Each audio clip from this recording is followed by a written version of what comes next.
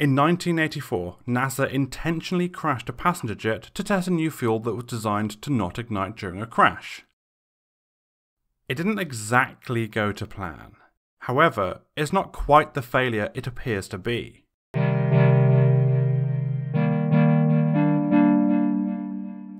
When a plane crashes, it's generally not the impact that causes the most fatalities. It's the inferno that follows as the aircraft's fuel tanks split open, releasing their contents. Following the deadliest plane crash to date, where two passenger jets collided on a runway killing 583 people, the Federal Aviation Administration, FAA, began taking a closer look at post crash survival of passengers. They concluded that in the average crash, there are about 90 seconds for people to evacuate before the ensuing fire would envelop the aircraft. To increase survivability in these kinds of crashes, half the battle is ensuring a speedy exit from the aircraft, and the other half is buying time. This is where anti-misting kerosene came in.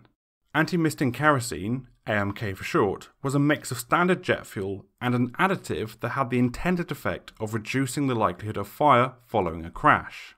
Lab tests had been promising, showing that AMK was much less likely to aerosolize and substantially less likely to ignite than standard jet fuel.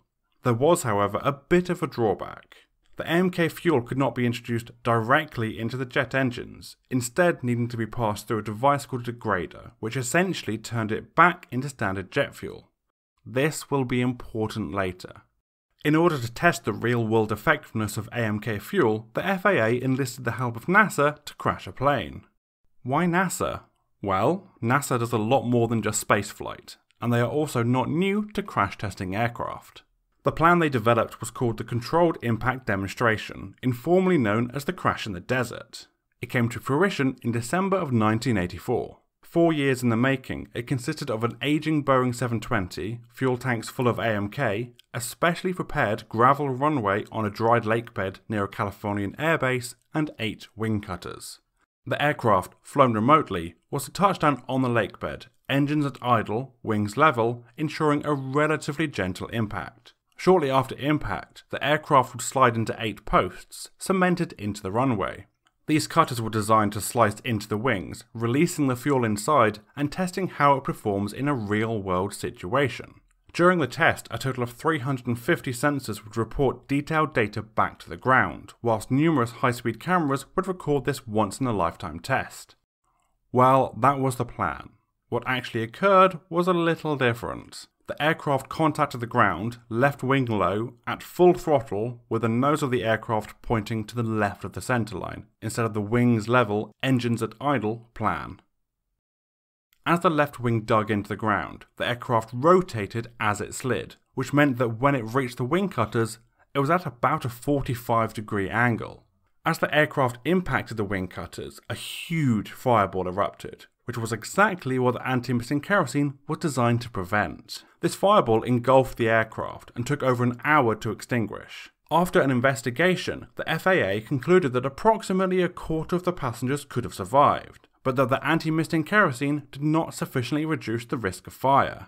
Following this incident, the idea of introducing the AMK additive as a requirement was dropped by the FAA.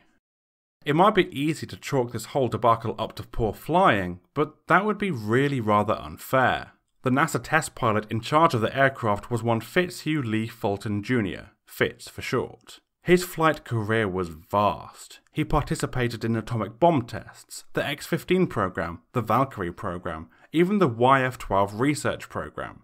He was quite clearly an accomplished pilot, but he had a lot of factors working against him. This was the setup he had to control the aircraft. Notice the small television, meaning no appreciable depth perception. He had no heads up display, no microwave landing system, and because of all the sensors and cameras having already been triggered, there was no second chance. In the end, both NASA and the FAA concluded that what the pilot was asked to do was incredibly challenging, given the tools at his disposal, and they laid no blame at his feet. But this test wasn't the utter failure that it appeared to be. The way that the aircraft slid at an angle into the wing cutters drastically changed the experiment. The test was supposed to have the wing cutters miss the engines, but instead one sliced straight through the number 3 engine. This released large amounts of lubricating oil, hydraulic fluid, and raw jet fuel. As previously mentioned, the AMK fuel had to be converted back into standard jet fuel before being fed into the engines. The fuel being released from the engine was no longer the AMK fuel, it was raw and very flammable. You can also see that as the aircraft slides sideways, the leading wing created a vortex mixing fuel and air. As both the raw fuel and AMK fuel swirled together, the AMK degraded. The process of being swirled about in the vortex essentially converted the AMK back into standard jet fuel. As visually impressive as the Inferno was, it didn't last all that long. Whilst the fire took an hour to extinguish, the airborne fire that engulfed the fuselage only lasted 8 seconds, leaving the fuselage relatively undamaged. In most plane crashes, if the fuel tanks are breached, you would expect what is known as a pool fire. The burning fuel spreads outwards from the wreckage, causing an intense and sustained fire. That didn't occur with the anti-misting kerosene. The fire remained relatively contained, the test crash ended up being much more extreme than planned, and therefore it was generally considered to be unrepresentative of the type of crash that would benefit from AMK.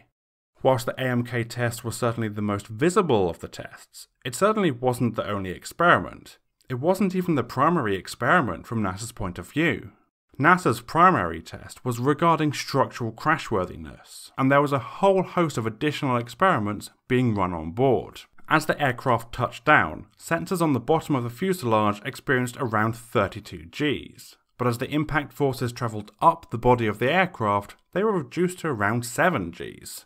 This is due to the forces being absorbed by the body of the aircraft compressing and crushing. The angle at which the aircraft touched down meant that the nose of the plane was subjected to greater impact forces than the rest of the aircraft. This meant the crash test dummy in the cockpit was subjected to forces of 18 G which bring with it a risk of spinal injury, but that was the worst impact force experienced by any of the dummies within the aircraft. The passenger dummies throughout the rest of the plane only had around 6 Gs of force to deal with, which is fairly minor in regards to human tolerances. The structural load experiments were basically over by the time the aircraft impacted those wing cutters, although it did provide more data the impact of the wing cutters were actually more severe in all axes, but all were still well within the limit of human tolerance. During the ensuing fire, another set of experiments came into effect.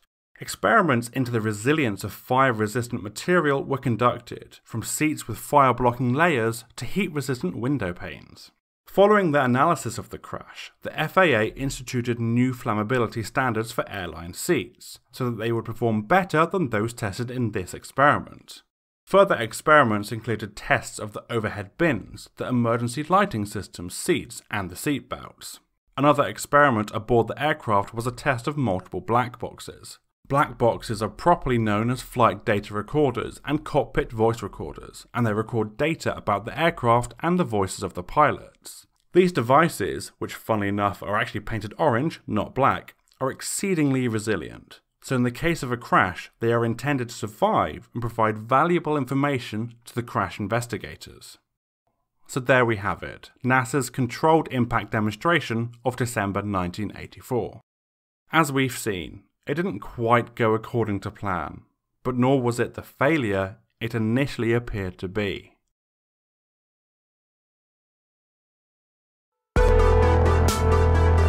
If you liked the video, perhaps consider subscribing